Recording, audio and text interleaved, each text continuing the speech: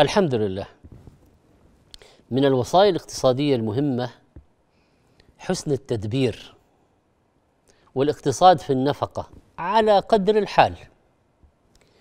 والاقتصاد جزء من النبوة. ثانيا عدم الإسراف. لا لمجاوزة الحد حتى في المباح. وكلوا واشربوا ولا تسرفوا. ثالثا لا للتبذير ولا ريال في الحرام ولا هللة. إن المبذرين كانوا إخوان الشياطين. رابعا تخطيط للمستقبل. إنك أن تذر ورثتك أغنياء خير من أن تذرهم عاليه يتكففون الناس.